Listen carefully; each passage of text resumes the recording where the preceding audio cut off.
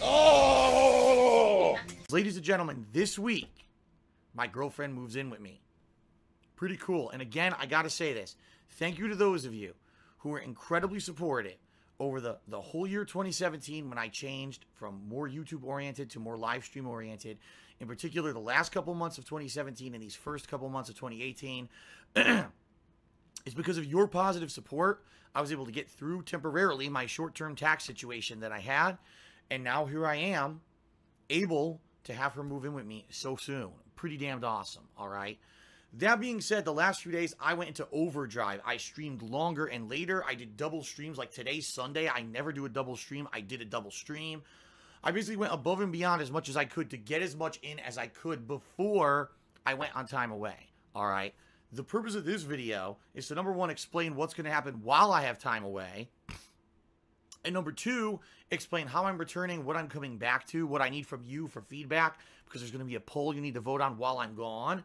And then to explain how things are going to change in the future as a result of my girlfriend now moving in. All right. So let's talk, folks. First of all, as of right now, I have streamed a shitload. Oh, yeah, yeah, suck it out. Nice and deep in there. the last few days, okay?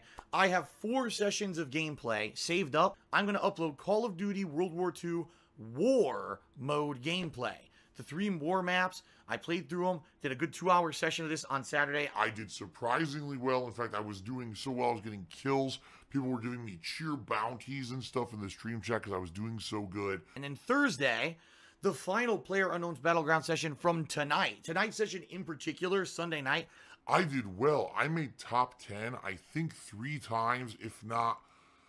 Yeah, I did pretty good. And one time I made top five. It was really good. Gameplay, but much better than usual. I had better luck. Discussion was good. Tons of people were cheering and asking me questions. It was a really great final stream before time away, and I really enjoyed it. During that time period, as I said, there will be no gameplay streams. But as my girlfriend moves in, as we get stuff set up in the house, as she gets settled in, we clean out this office over here and we set it up with her stuff and get it all ready to go.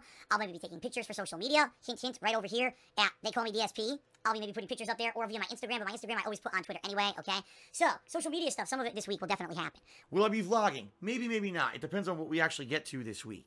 Um, I'm not 100% that we're going to get to stuff that's interesting to vlog besides maybe once this office is finally set up, maybe I'll do a walkthrough vlog to show, oh, look, here's her new equipment set up, and here's how the office looks now that we got a little bit more catered towards what she wants, right? So we'll see how that goes. But for the most part, it's gonna be me and her doing a lot of busy shit, busy work, getting her a new phone, getting her her driver's license in this state, getting her signed up for car insurance, clothing and, and shoe shopping because she needs a whole, you know, new stuff for her job out here, all kinds of stuff like that. All right. So most stuff you guys aren't gonna be interested in. Just real talk. All right. Now, besides watching the videos on YouTube that go live on DSP Gaming during this week, I need you guys to vote on what you want to see me play this week. Right here. Go to my Twitter. At when this video goes live on YouTube, the Twitter poll will already be live for you to vote on what games you want to see me do playthroughs of when I come back on Friday the 16th. Oh my god, another run of San Andreas. Why is this in the running? Because, ladies and gentlemen, number one, it's my 10th anniversary as a content creator on the internet. And this year, what I want to do is do second playthroughs of games that maybe I've only played once over the years, and or some of the most games that are known as the synonymous with the greatest playthroughs I've ever done. San Andreas very much is one of those, alright? Number two, because my original playthrough of San Andreas has been destroyed by content ID matches and basically having the videos either not viewable at all anymore because of the copyright and music that was in them, or on the flip side, uh, muted. A lot of these videos ended up getting muted. You can't hear the audio at all. It sounds like shit. Okay? So honestly, the playthrough's ruined, alright? Because the music has ruined the playthrough. The content ID, you can't watch half the parts. Some of the parts sound like they're inside of a fucking tin can. People have wanted me to replay San Andreas for a while. If I replay it, there's two stipulations. Number one, it will be the HD visuals version of the game released for the Xbox 360 a few years back. So FYI, it's not going to be the original on PS2 anymore. It's actually going to be, you know, that modernized version. But also, I can't use music. I'm going to repeat myself. If I play San Andreas again, I cannot use in-game music, period. It would completely undermine the point of me doing the playthrough if half the videos are muted and not watchable on YouTube again, alright?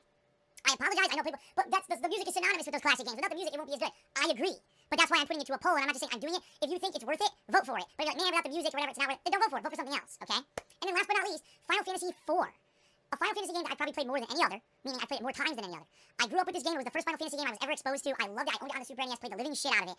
Um, I played every version of it, including the emulated versions, you know, Japanese version, American version, the, all the, the, the Game Boy Advance version, and all that shit. And now the version I'll be playing, if I do play it, is the Nintendo DS version, which is the hardest version. They upped the difficulty back to the original high-level Japanese difficulty. When they ported this game to American and or English uh, audiences, they made it easier. Because people were saying, oh, probably it was too hard in Japan, let's make it easier for Western audiences. It's back to its original difficulty. I'm okay with that. I know everything about the game. Much like my Final Fantasy VI playthrough years and years ago, this playthrough will very much be a walkthrough, because I know so much about the game, not really a playthrough, alright? Again, a perfect game for my 10th anniversary, a game that's true, tried and true to my heart and from my past that I know will be an entertaining playthrough for you guys. On the flip side, I've never done it before. Unlike Grand Theft Auto San Andreas, I've never even played Final Fantasy IV before, so it could be really good. Here we go. Money talk. Here comes the money.